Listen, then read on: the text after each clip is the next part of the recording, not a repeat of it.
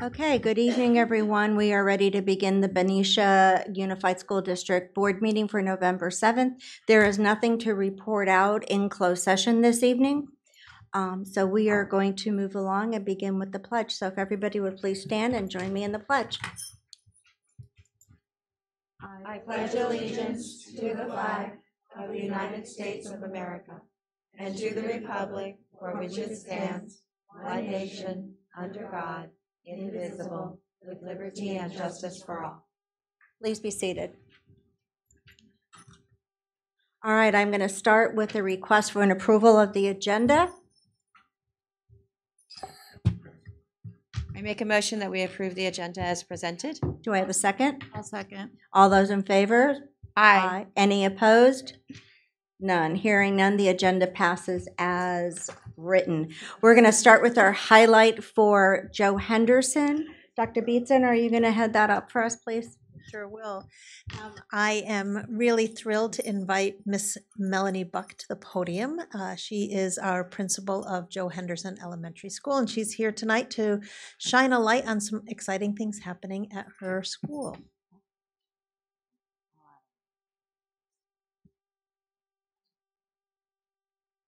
Okay, good evening, board members and district officials and people in the audience. I am Melanie Buck. I'm proud principal of Joe Henderson Elementary. So um, I, we, I was invited to share some exciting things that are happening up on our site, tucked away in the hills. And so um, I thought I'd share what's cooking at Joe Henderson. It's my first time on this. Let's see. Thank you. I thought about doing this in in uh, you know some sort of accent, but um, it's late, so I won't bore you with that. So multi-tiered systems of support. It's what's for dinner. It's what we do. So I thought I'd run through our three big buckets of multi-tiered systems of support. So first of all, we have the recipe for positive behavior. It serves all.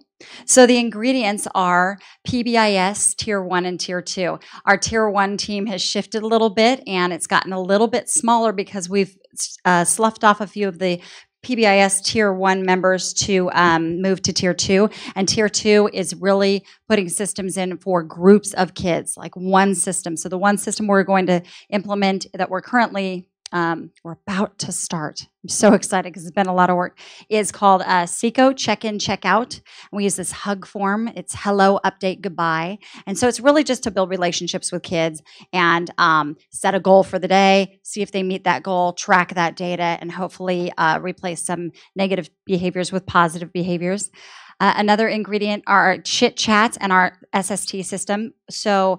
Um, Historically, in Benicia, we held chit chats to talk about kids in the academic setting with a group of adults um, talking about these kids, and then in the um, social, emotional, behavioral setting with a group of adults talking about kids. And what I realized is they were the same kid and you're talking about them in two different settings. How about get everybody together at one table and talk about it once? So we ran through two full days of kids with every single stakeholder, every support person that we can think of, and we brought 101 names to the table of how can we support this kid. And some of them were, you know, they just come to school, uh, come to school sad, nothing going on at home. They're not missing out academically or anything. Um, so that was exciting to uh, shift that model.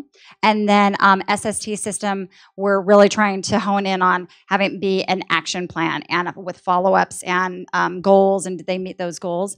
Um, SWIS is the data system that we use for PBIS, and we are currently um, shifting the data that we use. So instead of just pulling data periodically or monthly for tier one, we're pulling it every week and saying, okay, who has the most referrals? What are we doing for them? Shift in, shift out, move them through. So, um, and we've been asked to share that with the other elementary schools too, because we're the first school to be using SWIS that way. Um, and then Recess Club, uh, we have alternate alternative things to do uh, uh, for recess um, on our site. And um, our parents trained mary farmer parents so now they're getting a recess club. So i'll share some pictures with that um, uh, with you about that. So the preparation is creative an environment wherein all students feel welcome and then provide specific supports in an action plan to tier two and tier three students offer parent and staff supports as well. Um, and we offered a couple of classes. We had some flyers and invited parents to some classes, and then stir with some understanding and love. So, the recipe highlight is the Recess Club. It serves 20 to 30. Um, that black picture on the left, it's actually a pouch. I wear one every single day. If you've been to my site, you've seen me wearing it. I have my stickers in there and my keys and my phones. And then for each recess club activity, there's more than coloring, but for each activity, there's a be safe, be respectful, be responsible. So there's rules for it. Totally parent led, entirely parent led. So it, that's really cool. Um, so there's some of our recess clubs. Uh, we have Legos. Um, we do uh, do yoga out on the grass. Uh, they did these twirly things. There's building things. I walk out there and kids are doing all kinds of stuff. So it's an alternative for kids who may not want to play basketball, tetherball, kickback, maybe not into sports. So the second bucket we have for MTSS is the recipe for academics. It serves all as well. The ingredients are um, our reading coaches, uh, there are tutors that um, you all approve. Thank you very much for approving that in the LCAP. Um, feedback is awesome that we're actually, you know, kids are getting uh, supports at least twice a day um, to really beef up that reading. So that's really exciting. Um, we have targeted students in all classes. Every single teacher gave a, a group of kiddos that they will be targeting, having targeted instruction to increase their academics. Focus on conferring. Um, and that is um, specifically in ELA and math. So they can have one on one conversations in reading, one on one conversations in writing, one on one conversations in math. And it also hits um, to the other. Um, uh, our other goal in a district in our district, which is um, being inclusive, including uh, making sure all students are uh, feeling welcome and included. And then we have an attendance attendance incentive, and then we shared best practices at uh, site PDs. So the preparation is provide high expectations for all students, implement specific supports for targeted students, and serve with a side of focused evaluation goals, which is awesome. Our evaluation goals are, are really, really um, spot on this year of, of what they want, what staff wants to grow in. So that's cool. So here's some pictures. Um, let's see. The top left and bottom center are both um, uh, plans for teachers. Okay, I'm going to meet with these kids today, and then these are the notes that, that I took today during my um, small group or my conferring. The bottom left, our fifth grade uh, tried a new unit of study this year in, um, in the beginning, and um, westward expansion was uh, what they had worked on, but they really had some great writing about that. Um, the top center is a phone message. So those are actually, this is really cool. Those are stickies. And so when teachers meet with a student and they say, okay, what do you want to work on? I want to work on use of power words in my writing. Okay, great. They write it on there, they stick it, and off they go. And then the teachers have a record of what they talk to the students about. Um, top right, a whole bunch of our teachers are doing student led conferences. So the students reflect on what they did, they have goals, um, and they actually grade themselves and then they lead the conference with the parents this is what i did this is what i want to do this is where i am and it's it the teacher almost says nothing so that's uh, really exciting. So fifth grade and second grade are 100% in and then spots here and there. Um, and then bottom right was just a cool piece of writing that i took a picture of. Um, and top left is the tutor. He's uh, coach parker uh, with our kiddos. Um, the bottom left is students using a Lexia, and if you can see on the right, there's a little temperature gauge, a thermometer. They're gauging um, how, the, getting through the lessons and how well they did. Top right is a guided reading lesson. Um, excuse me, it is a um, reader's workshop lesson, reader's workshop small group, and then bottom right are our kindergartners, looking so cute.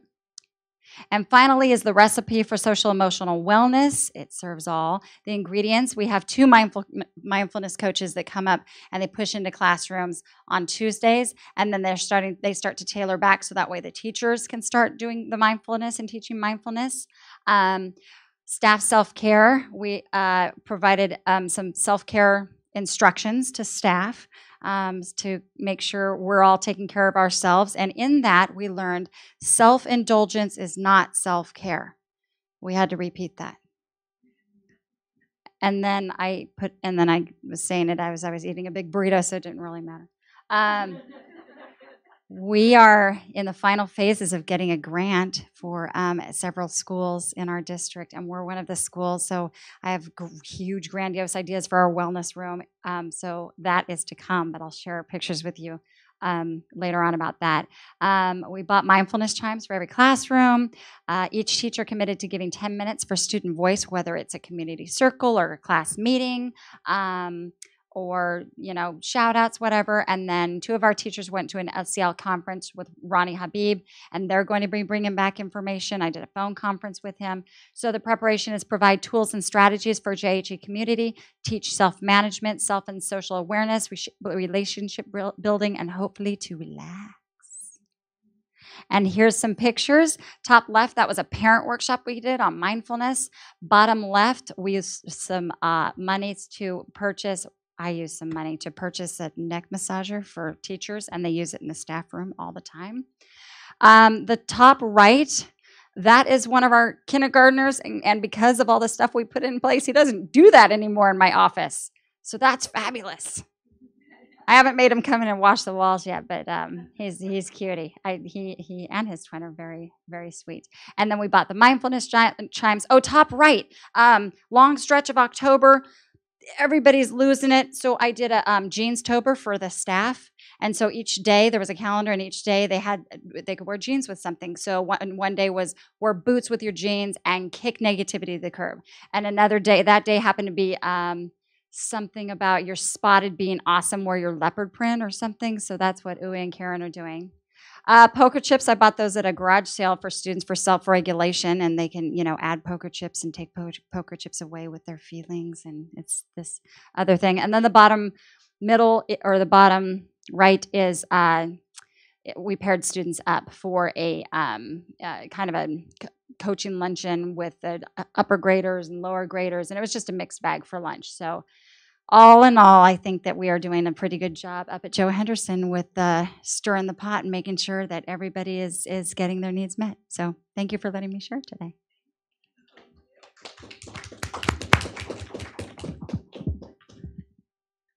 So thank you very much for all you do up there. I hear some really good things going on at Henderson, so it's exciting to have our schools come forward here so they could share. Okay, we're going to move on to some reports. So even though we don't have students here, I want you to close your eyes and pretend we do because we have their report. Um, so Ireland from Liberty High School came, brought her report over, and she wasn't able to stay tonight because of some work she has to get done. So we offered to share on her behalf. Liberty High School participated in Red Ribbon Red Ribbon Week. Thanks to Benicia Youth Action Coalition and their generous donation, we planted over 100 red tulips and received wristbands and water bottles to help spread the message of being clean and sober, having a clean and sober life. For Halloween, we decorated the school and learned about Day of the Dead. Several students helped clean up our city's cemeteries. These students hope to be able to volunteer there at least once a month. In our Learning Through Interests program, students visited Factory OS located on Mare Island. Their warehouse was used to manufacture submarines during World War II. Now, this is space for manufacturing small houses that help address affordable housing and homelessness issues in the Bay Area. We also visited CT Hot Rods, Toland Metals, High End Uniform, and Hinton Beauty and Barber College. We have several students ready to take the next steps that will lead them to internship placements. Tomorrow, they will be having an annual blood drive.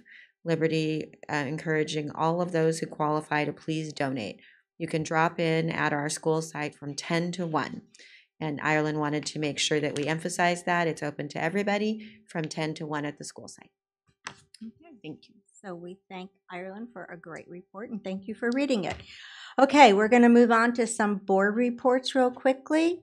Um, Mrs. Zeta, do you have anything you'd like to share? We attended. We, And I attended um, along with um, Leslie Beatson. God, my head is not thinking right now. And um, there was a Valero Benefit for Children's Award presentation at um, the Clock Tower.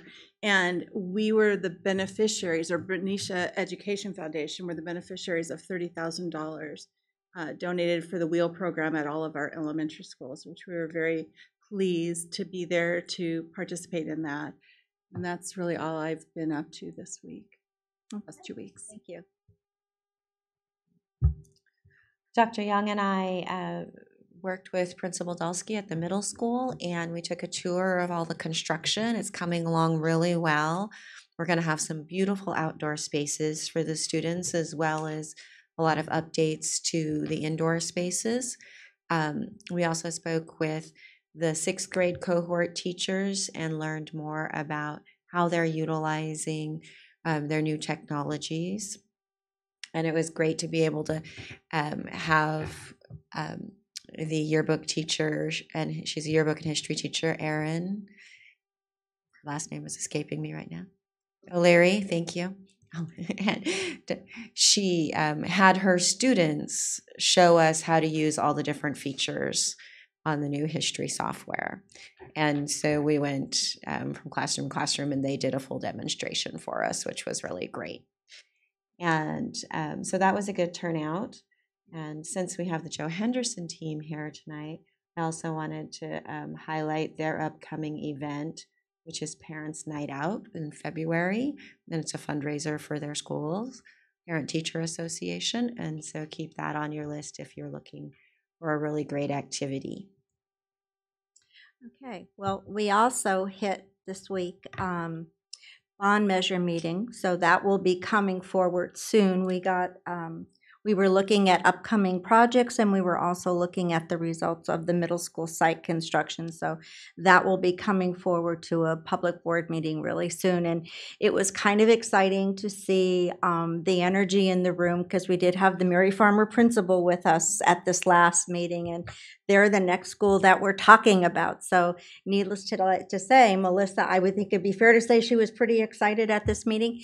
Um, so we're looking at um, at some at some improvements at that school as well. Also, we were getting some word that some of those um, bonds that are some of those reimbursements that we would forward from the state are starting to trickle in. We've gotten our first one, so that's great. So we've got several more sitting up there, so hopefully that will get a positive response on all of them. So that was a very positive meeting. I love when money is coming back to the district. Um, the other meeting that I was, I had the privilege of being part of was our city and our school district meeting. And yeah, you forgot about all those. So Dr. Hogan was with me, and actually, so was Mr. Young and Mr. Lars Paga that are sitting out there.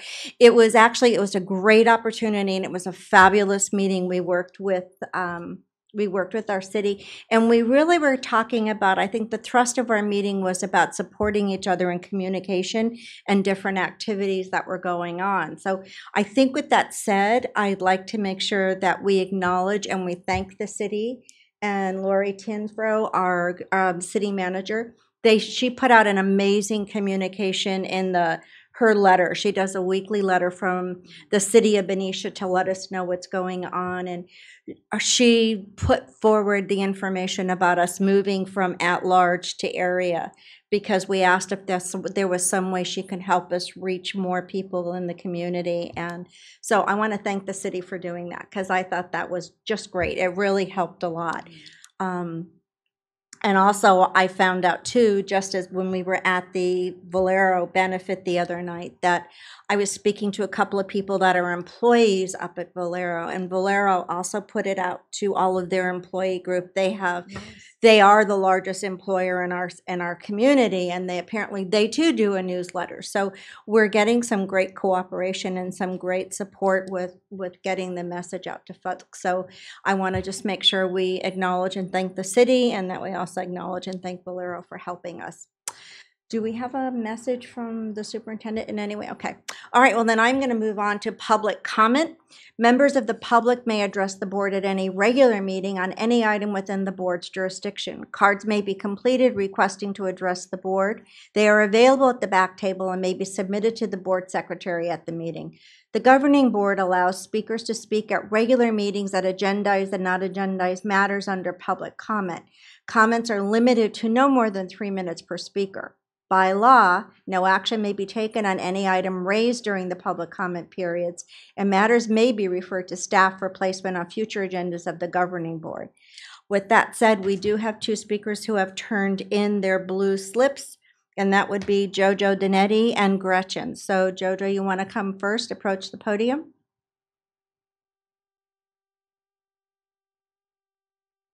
Thank you. Uh, Jojo Dinetti, Benicia High tennis coach and Benicia Community Tennis Association. Just here to thank you for fixing the tennis courts at the middle school and the high school. They are awesome. Um, they are great to play on. It's good seeing the kids out there in the after school program at the middle school. They're playing hard, they're running hard like they've never been able to. At the high school, uh, we were able to have some very competitive play against our uh, competition this year and we didn't have to warn them about the cracks and the holes. so it was it was kind of nice not being the worst tennis courts in the district in the in the league anymore. Uh, so I wanted to thank Trustee Zeta for her genuine concern for the safety of the kids, and uh, Maintenance Director Alfredo Romero for his persistence and getting a good contractor to do the work. So with that, uh, we're just waiting on the good windscreens we'll be all good to go. So thank you. Okay, Gretchen?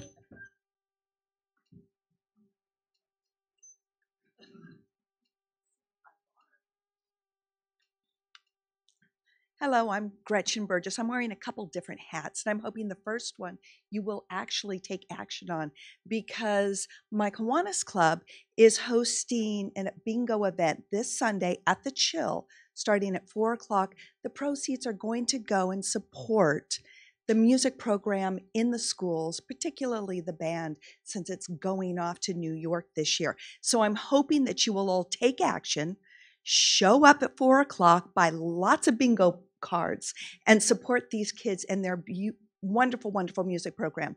And in that vein, I'd like to thank you for doing the work that you did to the public art or the performing arts building the pab I, it's hard to remember what it's called. um, we walked in there as band parents this year and just went how lovely. There's still some work that could be done but oh, it's so nice to see effort being put into that program because the kids in that program are just so magnificent. The next thing that i wanted to talk about is pursuing better practices with smoke. That for the fourth year in a row, we've had incredible fires, and this seems to be the new normal. And the last bout of fires that we had, the kids were told to go to school, and then a couple hours they were told to go home again. Um, and there was quite a bit of strife I heard from other parents about come and go, come and go. So we're really looking forward to the school district developing better procedures because unfortunately this does seem to be our new normal. And last but not least, I see a couple of our city leadership here and they know I like to sit at the, I'm going to get this wrong, um, traffic, pedestrian, bicycle safety. Yes. And you know, something that I'm going to say it offends me, is that I don't see anybody from the school district there. And the, one of the things we talk about the most there is the safety of our children coming and going to school. Personally, they know I have been rabid about the intersection at Military and 7th Street on the west side, which Mhm. is an insane intersection. Kids are constantly, and since I walked to Mary Farmer and now my child walks to the high school now, trying to cross that intersection with people turning into you is terrifying. But there are a lot of other places where it's really, really scary. And Mary Farmer had a parent that was mowed down by somebody. Yeah, you remember that. All of this takes place on city streets and really, really impacts the children coming and going to school. And yet, at this meeting, we don't have representation from the school district there. So I would really love it, particularly since right now I am working on a Barnes crossing at the high school, and none of you guys know what that is. But if you came to the meetings, you would, and I am out of time. Thank you.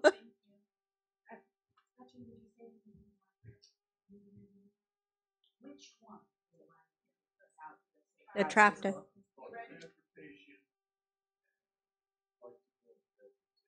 Okay, was that's this not the different than- transportation one that was just canceled on us? and so on that's generally. Yes, and it's only held quarterly, so it's only once. a month. So this is different than our Safe Routes to Schools meetings. Okay, because Safe Route is what was canceled on us just recently. Okay, so this is an additional committee. Okay, Good to know. Thank you very much.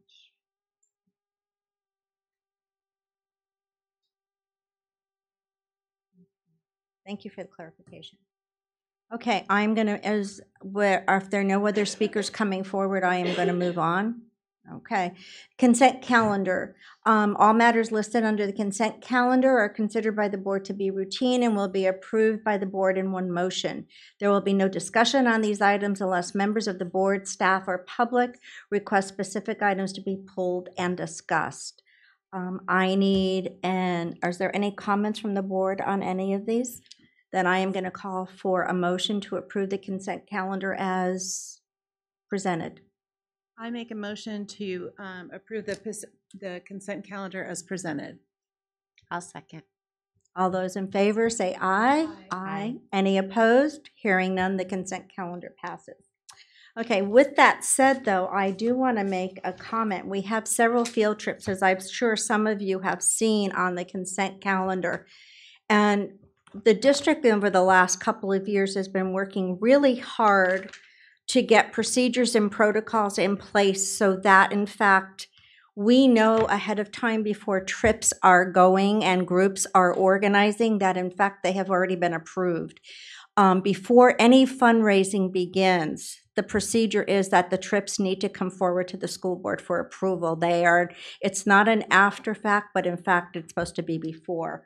So, um, I am absolutely willing to go and speak with the high school group and, and help to share that information.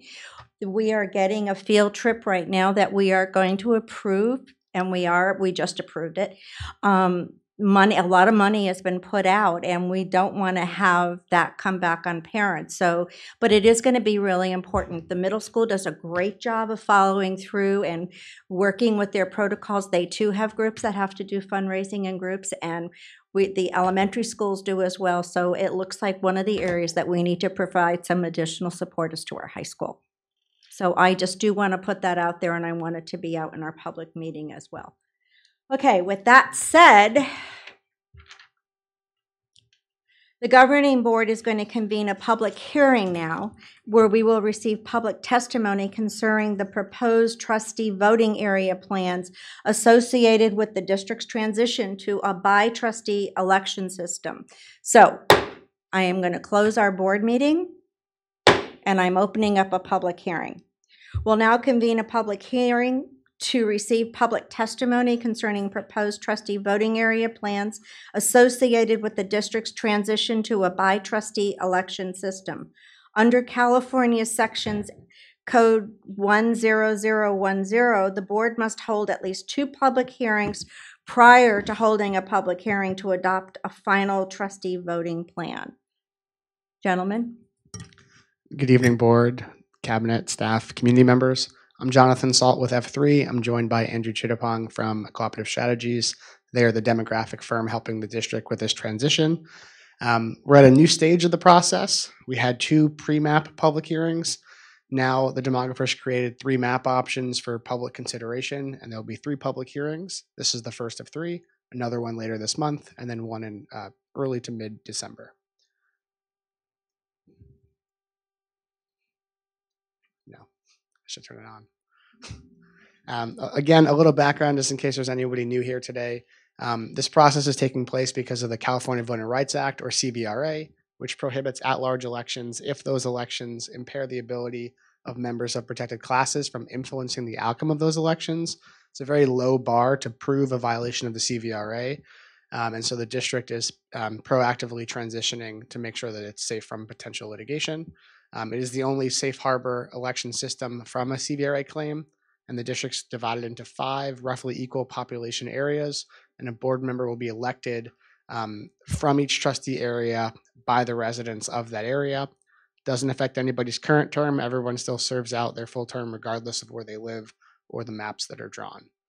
Um, so, like I mentioned, now we're in a new stage, the draft map stage, and I'll hand it off to Andrew to talk about that. So some criteria that we have to follow when we're drawing these maps is that we are using the 2010 census data, and we are um, able to use some additional data that's updated, that's permitted.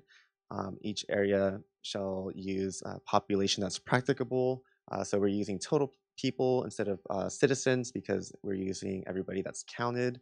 Um, each trustee area shall be nearly equal in population, and we are able to use a 10% deviation And- the reason that it isn't going to necessarily be a perfect even number per trustee area is because census blocks are the smallest amount of data that can be used to accurately count everybody. And they're not always the same size, they're not always the same shape, they're not always equally populated. So there's a little bit of a, a gap between some of the trustee areas, but they're they're within an acceptable range. So with the uh, 10% deviation, I'll get into some more information uh, later in the slide in the presentation.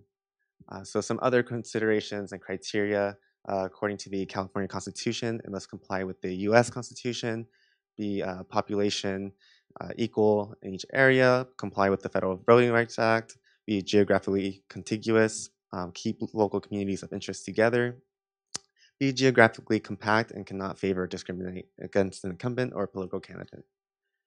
So here are uh, is the uh, demographics for Benicia Unified. So on the left, we have just a general demographic or geographic profile that includes the cities that encompass the school district, as well as the demographic breakdown uh, for the total population and the 18 years and older population on the right side of the slide. So the total population is about 27,000 people. And if we divide that by five for each of the five board members, each area is going to contain about 5,400 people. With a 10% variant, it's going to contain plus or minus 540 people. So we have the uh, population breakdown for the protected classes. So Hispanic Latino is about 12%, the white population at 66%, African American at 58.28%. Um, and the next largest demographic group is the Asian population at almost 11%. And the total population for those who are 18 years and older, that number comes out to be uh, close to 21,000. And we're going to focus more on the citizens voting age population, also known as CVAP or your eligible voters within the school district. So uh, the total number comes out to be almost 21,000 for the school district. One reason why that number is a little bit larger is the, the citizen voting age population data is based off of an estimate that's a rolling average over a five year period that's more recent than the census. So clearly, more people have moved into the district since that time, or at least more voting age citizens. And what we're really going to be focusing more are the percentages that you see here on the screen. So uh, the Hispanic Latino is about 12%, the, the white population is about 68%, the African American at 5.16%, and the next largest is the Asian population at 10%. So when we get to the maps, we're going to show some numbers and how those numbers are affected by each trustee area and how they're divided. So when we talk about uh, voting power or increased influence, we're talking about the numbers that are higher than the district-wide average that you see right now on the screen. And, and obviously, looking at these numbers, you know, 12% Latino CVAP or 10% Asian CVAP, it's not a gigantic number. So you're not going to see a trustee area map where one of those ends up being 40 or 50%, but an increase would satisfy the law. And we make an in- increase by looking at the concentration of where a particular demographic group lives. So on the left side, we have the Hispanic Latino citizens voting age population, and the lighter colors represent uh, less dense areas, and the darker colors represent more dense for the Hispanic Latino citizens voting age population. And you can see that there's really no dark or concentrated areas, um, but we'll see how each map um, affects this demographic group. And as well, we have the uh, citizens voting age population for the Asian population, also kind of scattered, no real concentration. Um, but it's the same table, different demographic group for the, the map. I should note that the very top there, that light blue area, that is a very a particularly large census block, but that often means when they're that large that there's actually less people in them and it's generally open space. So even though there's a large blue splotch on the screen, it doesn't mean that there's a significant Asian population there. It's just the percentage there is about 20% of the people who live in that block.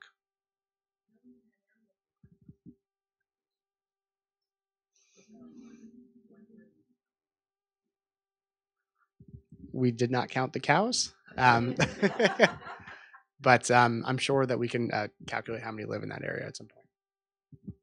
It's really relatively small, like maybe under 10, per- yeah, 10 people maybe. So that brings us to um, our maps, our first draft maps here. We do have three tonight. We're going to talk about the layout and what the symbology means.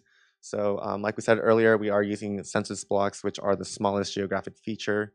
Um, so sometimes these census blocks are not the most cleanest shape, so we might get some more jagged edges for the divisions, or uh, because of the population equality, we might have to use a census block in- instead of following a major road.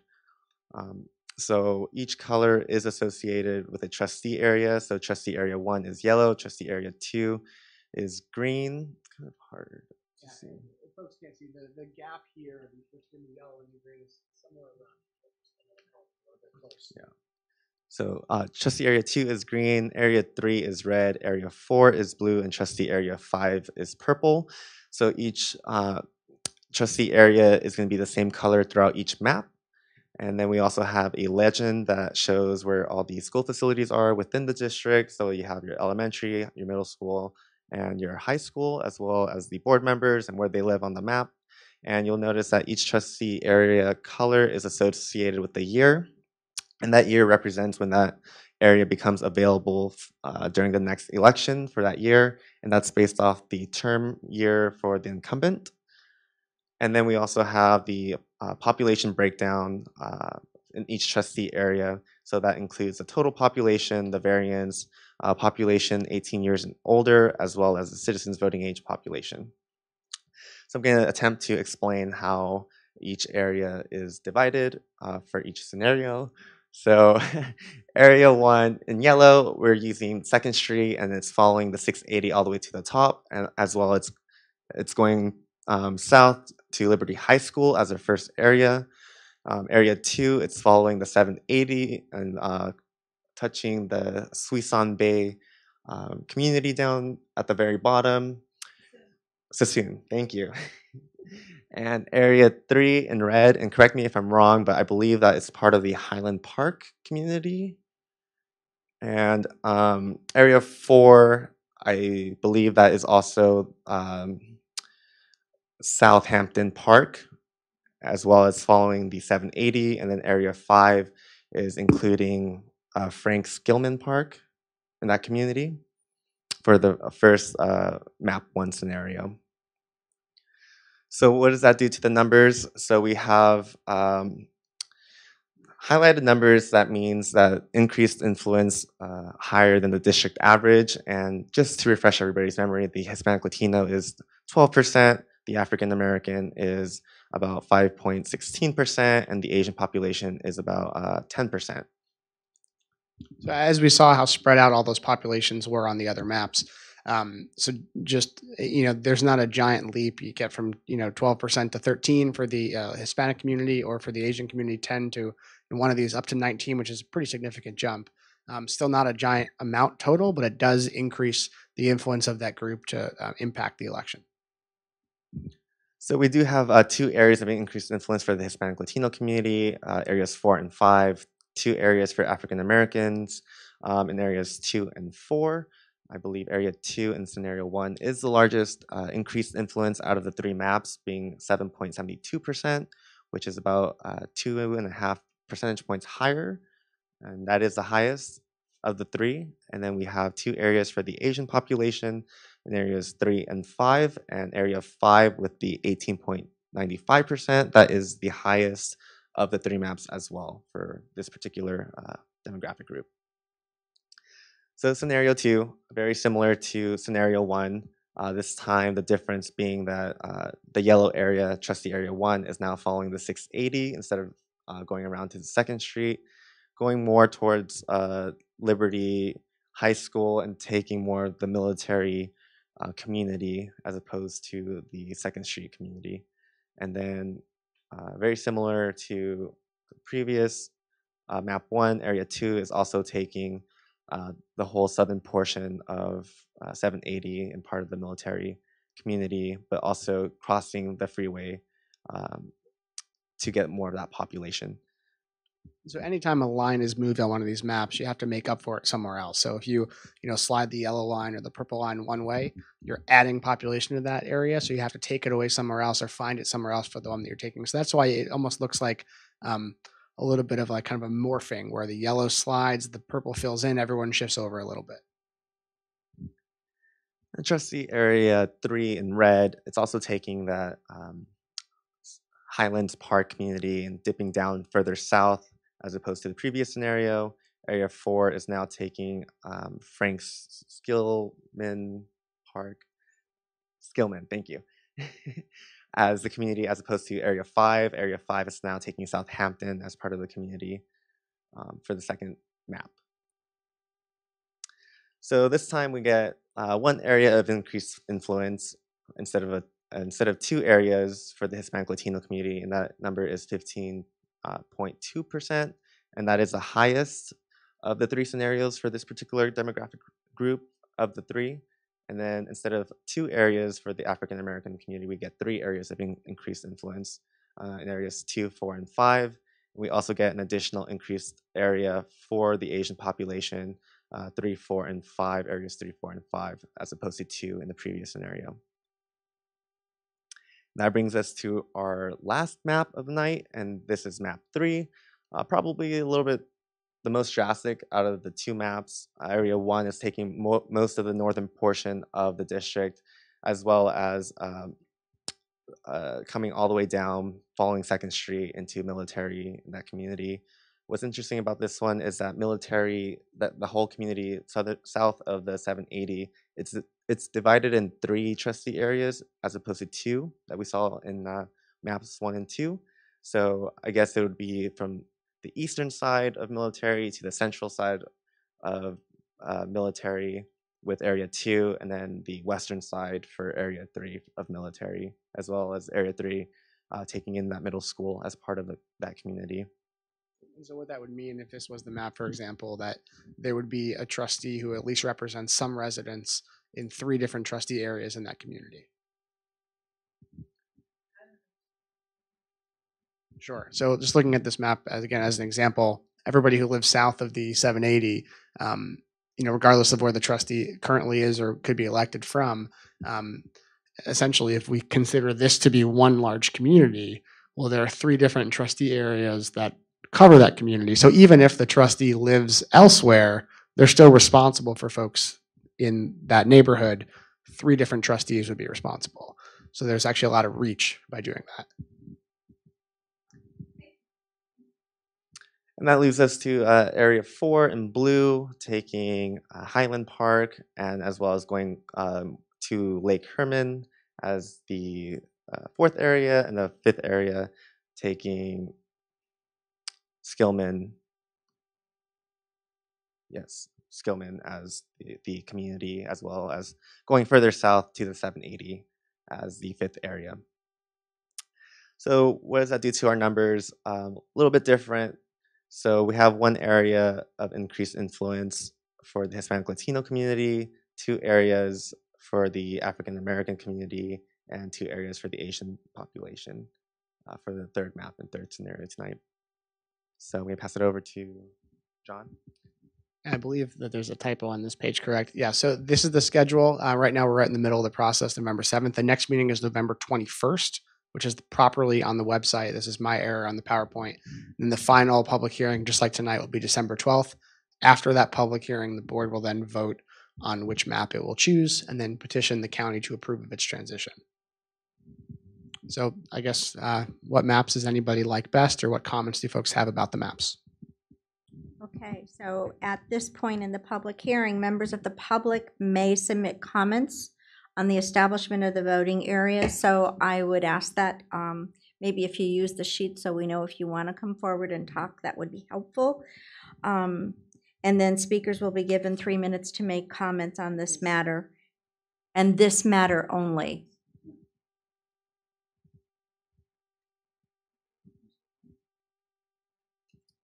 Miss- Okay, Gretchen, come on up. Can, can we just point out too that um, this is posted on our website? Yes. This is the first of three public hearings, so it's a lot of information, just so people, if they don't have questions tonight, they can take a look at them in more detail and come back two more times before um, a final decision is made. Yes, and I also believe on the website, there's an opportunity to also input, make comments or input feedback as well. So know that that is another opportunity, another, another media that you can also use. You don't have to be sitting here and coming up. So if you go home and think of a question, go on the website too. One more comment, I'm sorry. Yes. There's also on the website, there is a, a Google Maps that you can actually click on, zoom in, find your house, find the neighborhoods. That makes it a little bit more clear than these larger maps. Um, and so that's an interesting feature that folks can take a look at as well.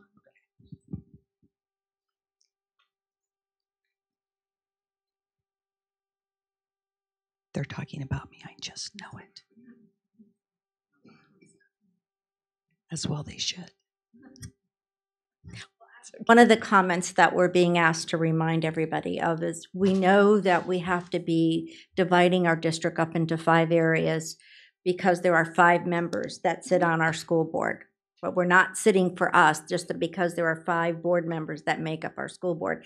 We are not, we have deliberately asked that we not be divided and tied to a school because this is our school board, this is our school district. We are all responsible and committed to supporting our school district. So if I land in one spot, I am not only representing Joe Henderson, I represent every school in the district. So we wanted to make sure everybody is aware of that. That was a commitment that we thought was of the most important um, priority to us as a board. So as we move forward, we are the board for Benicia Unified School District, not just one school. Okay? Cool. This only changes how board members are elected, it doesn't change how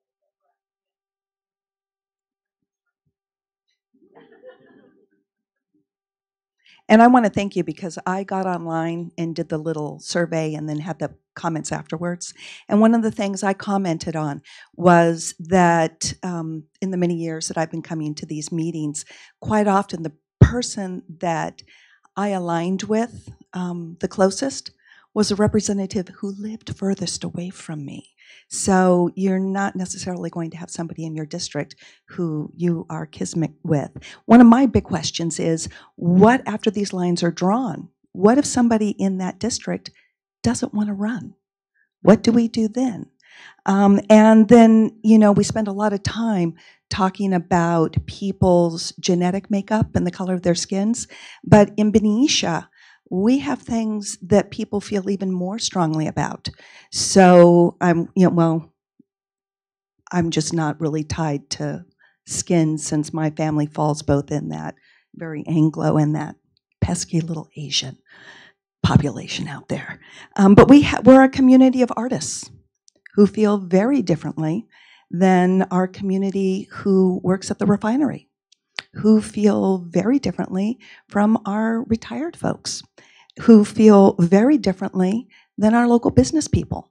And these populations have a tendency to live in certain areas. So, how are we keeping these populations and these people who might feel very strongly? I've lived in, well, I've lived on the west side for over 40 years, and I identify very strongly with the west side. And I have friends who live in what we call Water's End, who feel very strongly about their community and have very different views about where they live and the education of their children. Uh, I was a part of the Moms Club here in town. I was the only old town person in that group. And although we got along wonderfully, the way we viewed our children's education was very different. I was so glad I had Mary Farmer to go to.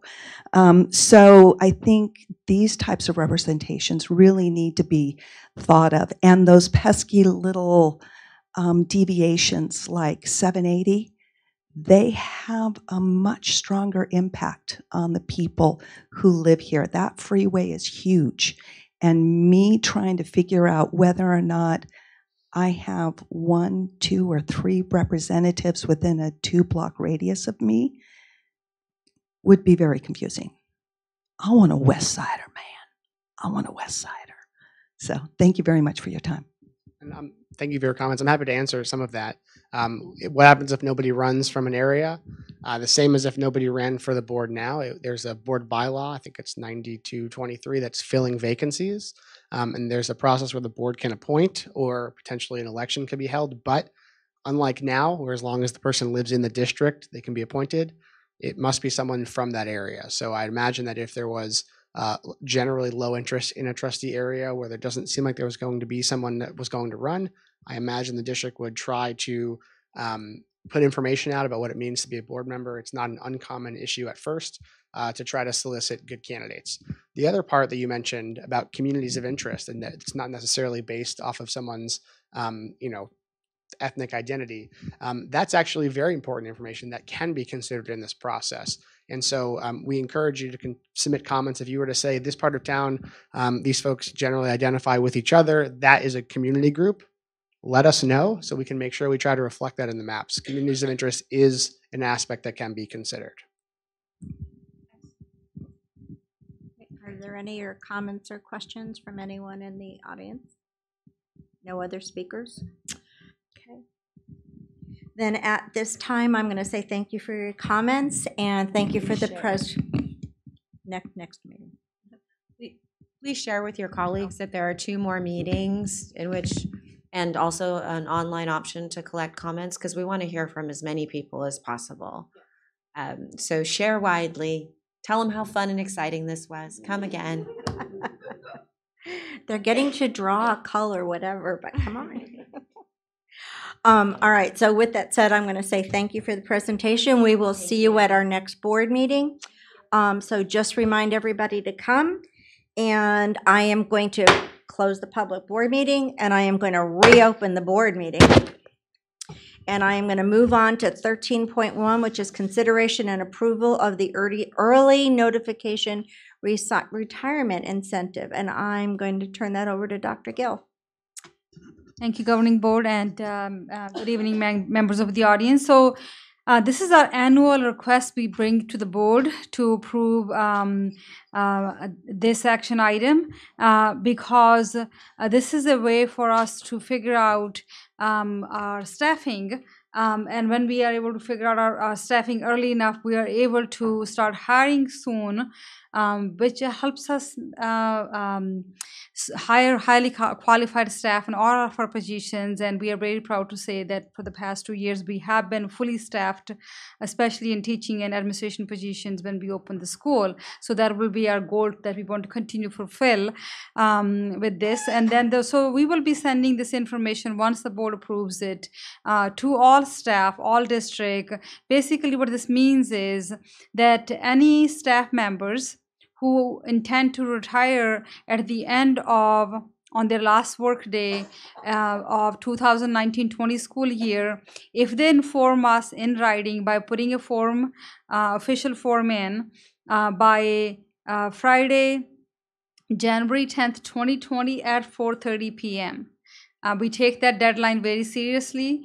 Um, they will be receiving up to 1500 if they're a full-time employee 1500 or prorated depending on their fte uh, an incentive as a retirement uh, notification and uh, we also want to make sure that we inform everybody the letter of intent will be non-revocable thank you Does anybody have any questions for Dr. Gill? All right, hearing none, I am going to call for a motion to approve the early notification of retirement incentive bonus. I'll make a motion to approve the uh, retirement incentive bonus. Do I have a second? I'll second. All those in favor say aye. Aye. Aye. Any opposed? Hearing none, the motion passes. Dr. Gill, you're up again. Thirteen point two is consideration and approval of a new job description for the special education assistant two. Um, thank you, um, uh, President Frucci. So this is actually, in, uh, even though we're bringing as a revised new job description, but the the employees have been working in the district for years. Um, uh, so this uh, this uh, so these employees used to work as SPAs before. So in uh, 2000, summer 2018, uh, during the classification process, they were classified as SP, SEA 2s because of the duties they performed, which was more than SPAs. They were very similar to uh, SEA, emotionally disturbed uh, job description, but still different enough to create a new job description. and uh, uh, so this is something um, we just it was pending to do that. We just needed to do it and uh, memorialize this job description to specifically uh, relate to the employees work they have been performing and uh, um, and so on. Even though the it does say the pay range salary from 31 to 34 again this is not new to us. This has been existent. Um, these employees have been getting paid this uh, since then it was approved by the board as a change at that time but we just need to bring the job description forward Any questions or comments for Dr. Gill? All right, then I'm going to call for a motion to approve the new job description for our special education assistant two as presented. I make a motion that we approve the new job description for special ed assistant two. I'll second. All those in favor say aye. Aye. Aye. Any opposed? Hearing none, the motion passes. Thank you.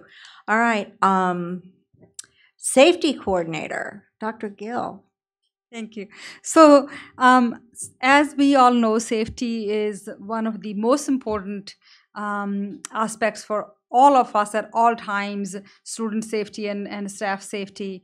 Um, and uh, so, um, to to with that in mind what we what we have been working on is to have a safety coordinator position for the district so that we have a one go-to person who um, will be responsible for uh, anything and everything that has to do with safety. Of course other people pitch in and help but one one safety um, position it's only a 10% position. And uh, um, so it's a it's a it's a management uh, part-time position.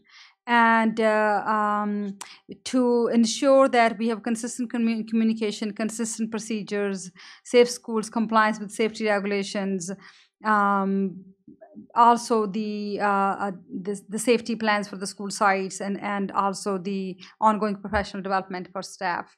And then the safety coordinator position will be funded with the use of uh, safety credit funds not uh, no impact will be on general fund for this position Okay. So I do have one question that I'd like to have clarified. Um, now that Dr. Patton has moved out, will this be the position that will attend um, the city? That's correct. The sa- all the safety? Okay. district, yes, meetings, um, all the partnership things, yes. that's Because that's an important partnership. I want us to continue that so that we are part of the bigger safety plan. So I just wasn't sure if that's where this was going. Yes, that's. Okay, are there any other questions for Dr. Gill? And at ten percent, this would be added to somebody's position? It wouldn't be a separate hire? Um, this is a great question. We're going to advertise the position. Let's see who applies. Okay. And go through a process. Okay. All that's fine. right. So, any other questions? Then I'm going to call for a motion to approve the new job description of a safety coordinator as presented, please. I make a motion that we approve the safety coordinator job description as presented. Is there a second? I'll second that. All those in favor say aye. Aye. Aye. All, any opposed? Hearing none, the motion, the pr- um, job description passes. Thank you. Thank you. Okay, I would just like to make one more plea from everyone to please spread the news. Meeting two is coming up.